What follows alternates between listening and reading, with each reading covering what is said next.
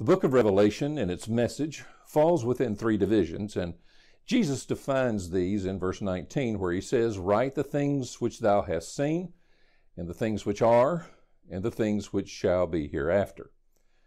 Now, chapter 1 of Revelation focuses on what Jesus is showing John at the moment of this beginning revelation. Now, as part of that present witness of John, our first message focused on the introduction of the revelation that John provided in verses 1 through 8. And this included the announcement, the blessing, and the salutation. Now, our focus is on the last half of those things presently seen by John and of course, this now concerns the foundation of the revelation in verses 9 through 20. Now, here John reveals what he heard, saw, and witnessed. So, our second message now deals with the foundation of the revelation in chapter 1, verses 9 through 20. Let's consider what John heard. In verse 9, it says, I, John, who also am your brother and companion in tribulation and in the kingdom and patience of Jesus Christ, was in the isle that is called Patmos for the Word of God and for the testimony of Jesus Christ. Now, here John identifies himself with his readers as a fellow believer because he mentions that he is their brother. But the identification actually goes further than just that because he also mentions that with them he is a companion in tribulation. Now, that indicates the persecution taking place at the end of the first century, and there was tribulation associated with it. These seven churches were facing various pressures around them, as well as troubles that were happening within. And of course, such is always the problem. The world attempts to stop believers through outside influences, while at the same time, pressures of compromise that come from within also threaten the church's purpose. So, regardless from which it comes, it all mounts up to trials and hardships and therefore tribulations. And I think we do need to get a feel for what these people were facing in the latter part of the first century. At the time of John's writing, the Jewish community was especially facing a great deal of emotional concerns about a changing world order. Rome's domination of Judea, as well as surrounding nations, was increasing, and the Jewish nation was being forced into a place with very little influence. And the eventual fall of Jerusalem in AD 70 ended the existence of the Jewish state, that is, as a nation with land, possessions, and political power. They were literally a people without a country. Then the destruction of the temple in Jerusalem brought a demoralizing blow, emotionally on top of everything else. And the Jewish nation found themselves running for their existence, being placed in involuntary exile and some into slavery. Uh, and many of the same afflictions facing the Christians of these days were equally realized by the Jews as well. They were living in a time when they wondered about the world that they were living in, about uh, an upcoming and thriving world system that was dedicated to evil, that would force itself in its beliefs on everyone. But along with the political and social tribulation, these folks also faced spiritual persecution. Rome's increased control of all things political also made the government suspicious of how religious belief could influence political movements. So, therefore, these Christians who would not worship the emperor were viewed as political subver- uh, subversives rather than those merely wishing to exercise religious freedom. And this religious reaction to a political position was, in the view of the Romans, a sin against the state. Now Jesus had said, Render therefore unto Caesar the things that which are Caesar's, and unto God the things that are God's. And since believers would not give worship to Rome because that belonged only to God, Rome saw that not as a religious statement, but a political one, one that had to be silenced. And as a result, persecutions came, and all of that mounted up to tribulation. But John indicates in verse 9 that there is more to this companionship between them than just the tribulation they face. There is a fellowship, he says, in the kingdom. Now, this speaks of all those who are part of and under the kingdom rule of Jesus Christ. You know, you can't be part of his kingdom if he's not your king. And you're not part of, uh, you're really not his subject if you're not subject to his control. Now, these to whom John writes are part of the kingdom of Christ's rule. And tied inescapably to these conditions of companionship in troubles and surrendered control to the Lord is the companionship that is felt in the patience of Jesus Christ. Now, the word patience indicates that there is a hope to be realized through endurance. And I think we all know that waiting is not easy. But patience is that of putting up with something that, at least for the moment, would not be desired for the better outcome of what will be realized at the end of that time. And of course, that is precisely what the believers needed during this particular time. Well, John then goes on to tell where he was and the reason for it. He is in the isle that is called Patmos. Now, Patmos is located in the Aegean Sea in the eastern part of the Mediterranean. It's just off the coast of Asia Minor and Turkey. Its shape is kind of like an hourglass, and seven and a half miles north to south, six miles uh, wide east to west, at, its, at least at its widest point, and it comprises about 13 square miles. Now, the wording of verse 9 could suggest two reasons that John was there. It could be that he was there to spread the word of God and the testimony of Jesus Christ. Now, such, such interpretation is allowable from the construction of the verse. But the most recognized reason is probably his banishment under the persecution of Domitian. Now, the reason for his being there would be because of his preaching of God's word and his testimony concerning Jesus Christ. In verse 10, he says, I was in the Spirit on the Lord's day and heard behind me a great voice as of a trumpet. There are various ideas expressed by writers relating to John's statement about being in the Spirit on the Lord's day. Now, some will state that it could refer to the first day of the week, so it would be believed that John was having his own private worship service, as it were, and he was really having a truly spiritual time in the Lord as he went about his worship. Now, to substantiate that as a possibility is the construction that places uh, Lord as an adjective to the word day. And although that is a possibility, it really seems outside normal usage that's found anywhere else in Scripture to make this the first day of the week. Now, when the Bible at other places mentions Sunday, it's the expression first day of the week. And so it kind of sets it as the time of Christ's resurrection. It was never referred to as the Lord's Day in Scripture or during these early days. So for me, to make it so here would seem to be a stretch. Now, the expression that this regularly identifies with is the coming day of the Lord, which is the day of God's wrathful judgment on a sinful world. Now, this expression is commonly used in the Old Testament, and this, of course, is the subject matter being dealt with in the book of Revelation. And second, this is a vision concerning the future period to which John is transported ahead to see. So the expression shows how he was allowed to see the events that relate to this day of the Lord, the day of God's judgment. Therefore, being in the Spirit would be likened to the unique trance that prophets would, at times, realize when receiving special personal revelation from God Himself. You know, something similar to this, just as an example, would be Isaiah chapter 6, when he was taken to the heavenly Jerusalem, to the portal of the temple, to see the Lord high and lifted up. Paul speaks of a similar experience in 2 Corinthians 12 of being caught up to the third heaven, and it was so real he couldn't tell if it were really in the body or was it in the spirit. So it seems most reasonable here, in light of what we see to come to pass in the pages of Revelation, that John is in the Spirit in such a way that God discloses special revelatory information specifically about the coming day of the Lord. This is the day of doom that God foretold through the prophets of the Old Testament, and that He's now going to reveal completely in the New Testament book of Revelation. And with this happening, God carries John immediately to that coming day, and having done so, John hears behind him a great voice, as it were, he says, as a trumpet. Now, the voice he hears catches attention, likely booming uh, sufficiently that John recognizes the greatness of its source. And just the, at the sound of it, it evokes attention. But he also expressed it as though it were a trumpet blast. At one moment, it sounds impressive, beautiful, but also alarming. It's alerting.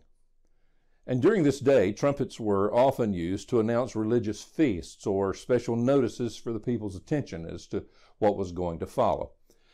So, therefore, there's really no doubt but that God summons John to a revelation of himself. And that announcement is in the familiar, worshipful, impressive, alerting sound and fanfare of what is about to come. Without a doubt, God has caught John's attention to what is about to follow. We see now in verse 11, saying, I am Alpha and Omega, the first and the last. And what thou seest, write in a book, and send it unto the seven churches which are in Asia, unto Ephesus, and unto Smyrna, and unto Pergamos, and unto Thyatira, and unto Sardis, and unto Philadelphia, and unto Laodicea. Here is the repetition of the one speaking and giving the message to follow. It comes with all the authority of eternity and He who encompasses it all. And He commands for John to write all of this down and then to send it to the seven churches of Asia. Now, this obviously took place in that we have it here in front of us. The word seest is not only what John sees with his eyes, but that which encompasses the entire vision now provided. He'll not only see, but he'll also hear in this vision. And of the many places where we sense the interaction of God with man in the writing of the scriptures, we see God's direct command explicitly for this information to be recorded and preserved in a readable form. It not only comprises information that is to be stored in a book, but it's to be sent to the churches. Now, the churches are listed and identified here, and we will see them uh, individually in the next two chapters. So we'll save most of our comments about them for that time. But let's take a moment to look at the placement of the churches. They were literal churches in, the, uh, in existence in that day, and they each had real needs that Jesus speaks to them about. Now, some take chapters 2 and 3, which are Christ's message to these churches, as representing specific periods in history, taking a historicist view of these two upcoming chapters. Now, I personally don't hold to that view. Uh, now, certain parallels might be interesting, however, uh, but I feel that the best approach is this. First, let the messages to the churches unfold as given, and then, two, as it is with all Scripture, recognize its relevance to the specific application that's intended initially. And then we'll also understand that the principles that are there are applicable to people of all time. Now, this approach of interpretation additionally fits the first division of the book, where John is told to write the things that are. That means that these were literal churches in existence in that day that had real needs that Jesus speaks to them about. They also represent the churches of all times concerning needs that churches have always had and will still have until Christ's return. The importance here, I think, is not to try and find where we fit in within a historical setting for the message to that particular period. It's the need to hear what the Spirit saith unto the churches, and that will include every church then and now. Therefore, the information in Revelation is for reading, understanding, repetition, and application. It's the inspired Word of God to the seven churches of Asia, but it's also for the universal church over all time. It's evident to us now that the churches of that era are gone. The people are dead, the message is no longer observable by them alone. The intent all along was for it to pass from them to succeeding generations of believers so the word might be accurately and consistently presented to church after church and year after year. Now we're going to take a look at what John saw in verses 12 through 16. Verse 12 says, And I turned to see the voice that spake with me, and being turned, I saw seven golden candlesticks. Now it seems odd that John would say that he turned to see the voice. Now, obviously, he recognizes that a person spoke, but all he knows before he sees with his eyes is that the voice represents a real person talking. It's the same as saying that he's turning to see the one whose voice he heard. Now, he knows the voice spoke directly to him because he uses the words with me. So once he is turned, he's impressed with what first catches his eyes. He sees seven golden candlesticks. Now, the word used for candlestick here is more properly that of a lampstand. These were oil filled wick lamps that were on a stand. In most homes of the ordinary people, they had a single lamp with no stand, and it would be placed perhaps on a high table, a wall niche, or perhaps hung from the ceiling in some way. Now, some lamps would have a single stem that uh, would hold a single lamp, but among the more wealthy, some stems had a larger pedestal where several lamps extended from it. Now, in verse 12 here, it seems to be seven individual golden stemmed lampstands with one lamp per stand. And if it were only one stand with seven branches, such would seem to have been indicated. Now, the number of lampstands John sees is seven. This number is, of course, a number usually associated with completion. Of course, Christ in verse 20 provides the meaning of this particular uh, imagery when he says, The seven candlesticks which thou sawest are the seven churches. So these lamps, the churches, serve to carry out their principal function. They're to shine the light ignited for them, which is supplied through the oil placed in them. And the golden metal speaks of the purity and glory of the one who formed them and whom they now represent. And now in verse 13, we come to the one of the most beautiful pictures. It's a picture of the risen and glorified Christ. It's in these next succeeding verses that John shares the picture characteristics of the one in the midst of the lampstands. And in the midst of the seven candlesticks, one like unto the Son of Man, clothed with a garment down to the foot, and girt about the paps with a golden girdle. This one to be identified is shown to be in the midst of the seven churches. The picture is that the lampstands are, as it were, in a circle with this one in the midst of them. And this one who is light is in the midst of those who were to mirror the light sourced in him. And as it should be, the churches should always have Jesus in the midst and center of all that they are and all that they do. And with that, John begins his ninefold description of this person. First of all, we can see here that he's the Messiah because he's like unto the Son of Man. This title used of Christ emphasizes his place within humanity as well as his character as Messiah. This is also used of him in chapter 14 and verse 14. And of course, this is the favorite title Jesus had for himself in his earthly ministry. And although the picture that we're about to get is far different from how he has been seen before, this person is he who is the one who walked among his disciples and among the peoples of the world as their Savior. Consider that up to this point, Jesus has mostly been veiled as it concerns his glorious existence as the sovereign God of the universe. Every picture that we have had of him previously has been accurate, but here in the book of Revelation, we have a full unveiling of the Savior. The curtain that has covered the Almighty One is about to be pulled back for thorough observation. And the descriptions that we will see here are symbolic representations of Christ's attributes as he's now ready to step from eternity to earth in his full glory and power.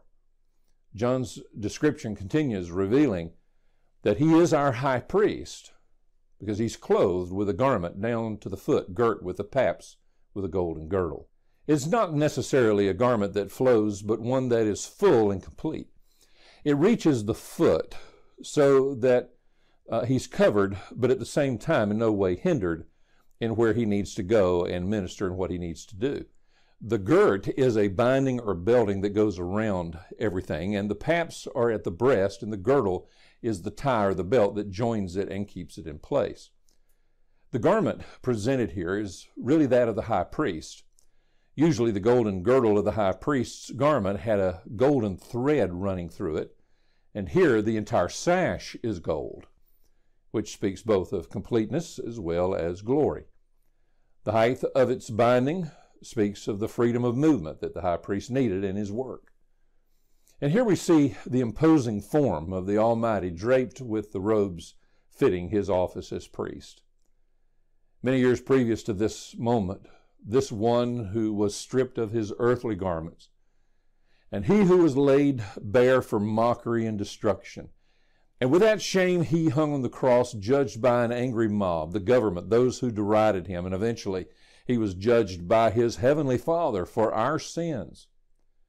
At that moment, the Father stepped down from heaven and covered the shame of his innocent lamb with the curtain of pitch black darkness.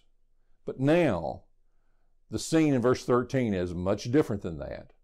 Stepping clear into view is this Jesus who adorns himself in the mantle of the priest and who himself needs no sacrifice for he himself, but he comes as the eternal intercessor for those that he represents. No longer does he stand judged, but the one who has the right to justify the guilty through the sacrifice of his own blood and through his own mediation. In verse 14, it says, His head and his hairs were white like wool, as white as snow, and his eyes were as a flame of fire. Here he is the Ancient of Days. His head and his hairs were white like wool. This description corresponds to Daniel's account of him in Daniel chapter 7, beginning at verse 9. I beheld till the thrones were cast down, and the Ancient of Days did sit, whose garment was white as snow, and the hair of his head like the pure wool. His throne was like the fiery flame, and his wheels as burning fire. And in Daniel chapter 7, verses 13 and 14, I saw in the night visions, and behold, one like the Son of Man came with the clouds of heaven, and came to the Ancient of Days, and they brought him near before him. And there was given him dominion and glory and a kingdom, that all people, nations, and languages should serve him. His dominion is an everlasting dominion, which shall not pass away, and his kingdom that which shall not be destroyed. In Daniel's vision, the Son of Man is coming to receive from the Father all dominion. And in John's vision, the Son of Man is doing exactly the same thing. And we, as we will see of him later, receiving the official coronation as the one through whom all judgment is going to come. Now, some have interpreted this description to be the white hair of purity. Now, his purity is true, of course, but I believe the connection between what Daniel's report of him is as compared to John's statement gives significance to Christ's characterization as being the Ancient of Days. He also describes him as the righteous one because his eyes were as a flame of fire. His eyes are able to see everywhere and to burn through all that is right and wrong. Based on that ability, he could judge correctly, and he can judge honestly, and he can judge righteously. He sees through the refining fire of purity, and with his look he can purify that which comes before him. It's just like when Peter was, you remember, warming himself by the fire of Christ's enemies. At the time that the cock called out the third time, Jesus turned and he looked on Peter, and with that one glance, piercing conviction fell on Peter. Since Jesus is the eternally righteous one, he alone is the one who can judge righteously. And it says in verse 15, And his feet like unto fine brass, as if they burned in a furnace, and his voice is the sound of many waters. Here John reveals that he is the just judge because his feet are likened to fine brass, as if they had been burned in a furnace. Brass, in order to be as pure as possible, has to be subjected to the fire, a fire that's so hot that it burns away all the dross. And that which comes through the fire is pure and it's refined. The significance for Christ is twofold. First, he himself went through the fires of trials and temptations and testing and the ultimate suffering of death and hell. And he came through the judgment of the cross successfully when he said, It is finished. It was not for the burning away of his dross and his impurities, but for ours that he took this on to himself. But second, based on what he has done, he stands thoroughly tested and upon refined feet to be able to judge all of the earth. Having the testimony of his own purity, he is the only one who can rightly judge anyone and everything else. That will be part of his ministry and responsibility later in the book. Here we see the one who is not only ready because of his background, he is ready and is on solid standing to do what is expected of him in the immediate future. But John also identifies that he is the all powerful one. His voice is as the sound of many waters. Imagine that you're standing near the bottom of the cascading waters of Niagara Falls. You almost hear the reverberating roar of the nearly 12 million cubic feet of water falling every minute right at your feet. Can you imagine how loud you'd have to speak, even to be heard from the overwhelming sound produced around you? And as John listens to this voice of the one who speaks with the force of depth and force, he recognizes the power that must be wielded by the one who would speak this way. The power of Christ is as great and powerful as is his voice booming with the sound of many waters. It flows with greater and greater strength. It speaks with an unstoppable force. And Jesus is the Word of God, the living Word. And when He speaks, all of heaven stops and listens because it has all of the force of eternity behind it. It booms forth and accomplishes all that it speaks. It's with the simple words that he spoke that he created all of the universe. It's again a reminder to John and to us that nothing is too hard for God, for all he need do is speak. His power is in his word and in the expression of his will. But now in verse 16 he says, And he had in his right hand seven stars, and out of his mouth went a sharp two edged sword, and his countenance was as the sun shineth in his strength. Now here John shows us that he is the caring sovereign, because it says and he about him having in his right hand seven stars. Now the seven stars, as defined already in the context, are the seven angels or messengers of the seven lampstands or churches. The connection to the meaning of the seven stars is given in verse 20. And we'll say more about it then, but verse 20 identifies the seven stars as the messengers of the churches. So the importance here has to do with how important it is that these seven stars are in the right hand of the Lord. The right hand that holds the stars has to do with power, protective care, and with direction. Christ has the church leaders and messengers under his care and protection under his direction and leadership and under his power and authority. And for the pastors, for these messengers, this is not about unwanted control or demeaning lordship. It's the picture of a caring Lord who's not going to allow harm or defeat or misdirection to come to them. But he also, in this passage, John is identifying that he is the warring conqueror because out of his mouth is going to go this sharp two edged sword. Now, I identify him as such because, first, he has this sharp two edged sword. Now, the word used for this sword appears five other times in the book of Revelation, and it refers to a weapon that's long and heavy. In contrast to that, for instance, there's a different word used for sword in Hebrews chapter 4 and verse 12, and in that passage, the Word of God is characterized as a two edged sword that's quick and powerful. Rather than uncovering unbelief, the sword of Revelation 1:16 speaks of devastating judgment. Its sharpness means that it can cut swiftly, and its two-sided sharpness only adds to its thoroughness, and by the way, its efficiency and its effectiveness. And second, in Revelation 19 uh, in verse 15, where this sword is again mentioned, it speaks of it coming out of his mouth to smite the nations. And so the idea is that of a stabbing motion that thrusts forward. And as you compare it with what you see here in our verse 16, it suggests the same motion. Not so much to slash back and forth merely to cause injury, but a forward motion in thrusting it through the enemy for defeat. And then third, there's significance in the historical use of this sword. The Romans' use of this long and heavy sword, sharpened on both sides and pointed at the end, was made to easily cut through. Uh, they were not interested in wounding on the battlefield. The purpose of the sword was to defeat the enemy, and they defeated the enemy by killing the enemy. Christ is also so supplied for his mission with that which is needed to complete it. But John also characterizes Christ here in what he sees as the glorified one, because his countenance was as the sun shineth in his strength. And although no picture is ever given of Christ's face, other than its marring at the time of the crucifixion, the picture left for us is how it shines with an unmatched glory. We remember the story of Moses and what happened to him when he had been with the Lord for 40 days and nights, and his face shone with the glory of God.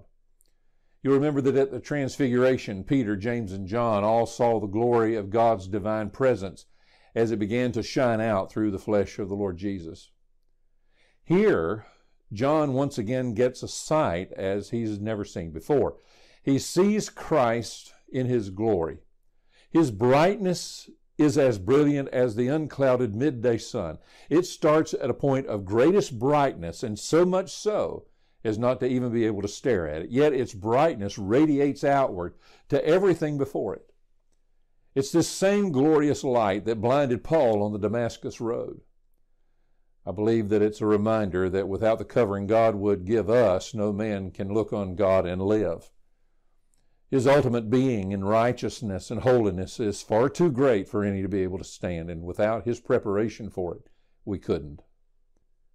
Now, these are the things that John saw, but now things change to consider what John witnesses in verses 17 through 20. And when I saw him, I fell at his feet as dead, and he laid his right hand upon me, saying unto me, Fear not, I am the first and the last. There's now a shift from what John sees to how he feels in response to it.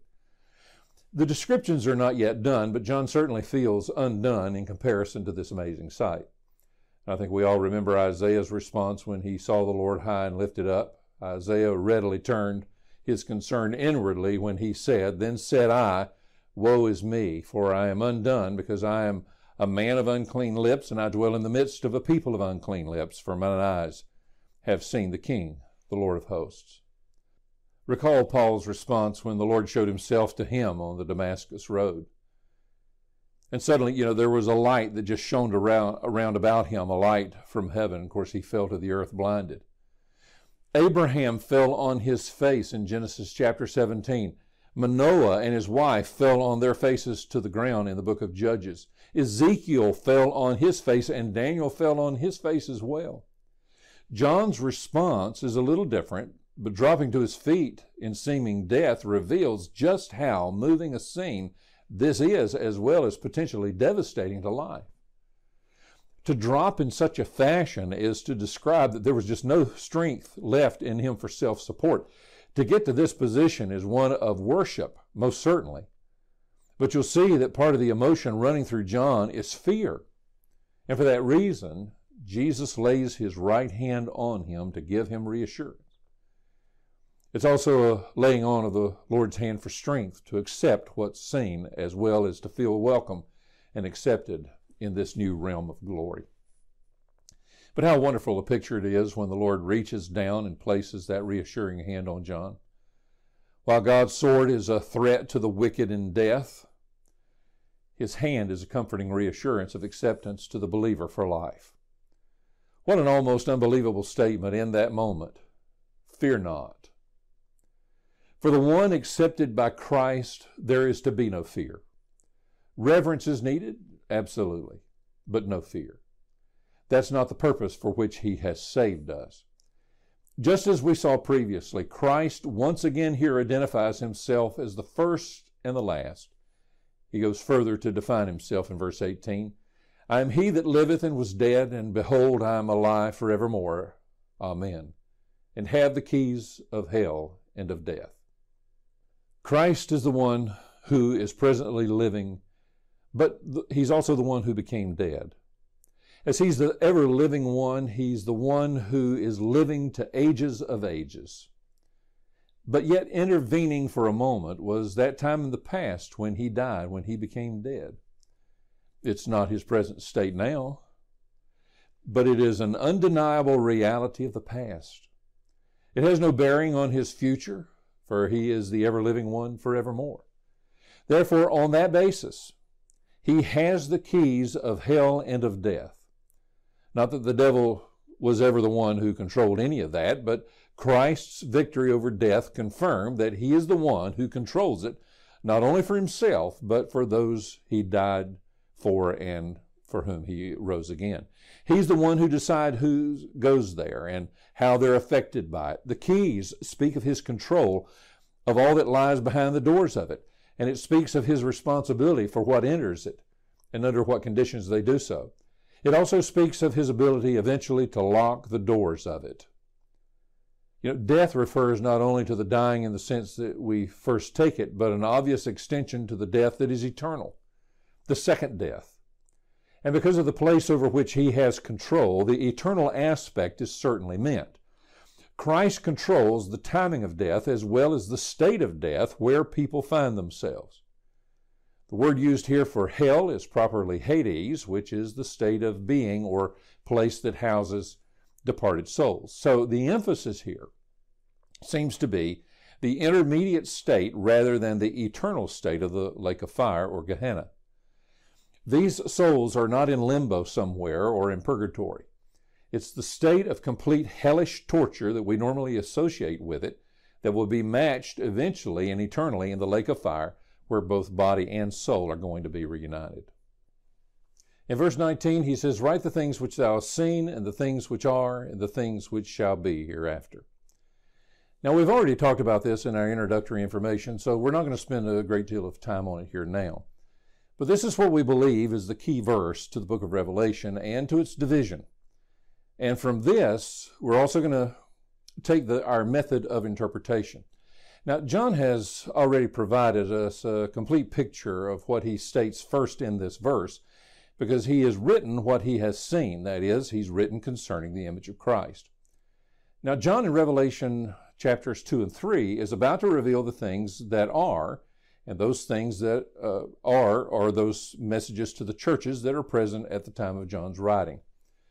Now, we're not going to take the historicist view of the messages to those churches. We've already talked a little bit about that. However, the messages to them are the messages that are needed by the churches of all time periods.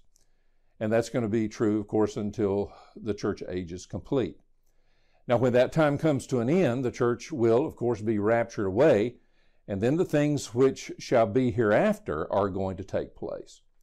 The vision of those things, which are yet to be future, are going to be revealed in the third part of the book. Now, Walvoord says this The decision to follow this outline is a major one and can only be supported by the self consistency of the interpretation of the book as a whole to which it gives rise. Now, if you consider what's being said in this verse and in the following verse 20, you get the, God's directive interpretation of how this book is supposed to be taken and what some of the things are supposed to mean. God's direction is what John is to do. He's to write. And he shows what divisions the writing is to fall under. He's to reveal the things that are related to the past, present, and the future. Then he's to lay out the basics of what the revelation already means, and this appears in verse 20. Folks, you cannot improve on divine interpretation, and he's given it to us here in this verse. Verse 20 says, the mystery of the seven churches which thou sawest in my right hand, and the seven golden candlesticks, the seven stars are the angels of the seven churches, and the seven candlesticks which thou sawest are the seven churches. The mystery now is no longer. God has given the signification of what some of this means and how some of it's to be taken. With these things being put into perspective, the message to the churches are now ready to begin. Now, interestingly, in verse 19, God's given the key to the division of the book. And in verse 20, God has given the key to understanding what has been revealed so far. Now, keep in mind that God will continue to do the same as we work ourselves through this book. Sometimes uh, He'll be more forthright with the interpretations of the symbols. At other times, depend on us to compare the symbols with other biblical symbols for that interpretation. But do let me mention that the angels represent the messengers of the churches, since the word for angel in Greek is it has both the idea of angel or a messenger. We believe that this refers to the leaders of the churches and most likely the pastor who is charged with carrying that message to them from him. And we'll talk a little bit more about that in our next message. So, what do we learn from this second half of Revelation 1. We have the opportunity to see Christ in all of his glory and divine preeminence. And when we speak of a book entitled the Book of Revelation, the revelation of Jesus Christ, we can see just how true this theme is right from the very beginning chapter. The remainder of the book will continue to reveal this Christ fulfilling all the characteristics that we see of him here. Among those pictures of the eternal God, we recognize him as the loving sacrificial Savior. Along with that, he's the one in the midst of the churches providing and guiding his light. And being sovereign over them, he has right to continue to fuel or extinguish the light of each. And just as will be true for the churches in chapters 2 and 3, so do we need to recognize and surrender to the Almighty God who holds the keys of death and hell. Let me ask you have you surrendered to Him? Do you know Jesus Christ as your personal Savior? Now, even though this picture that we see here casts a fearful tone to those who are unsaved, there is the greatest of encouragement for those who know the Lord. If you need to be saved, will you come to Him today? Will you call on Him for the forgiveness of your sins and give your life over completely to Him?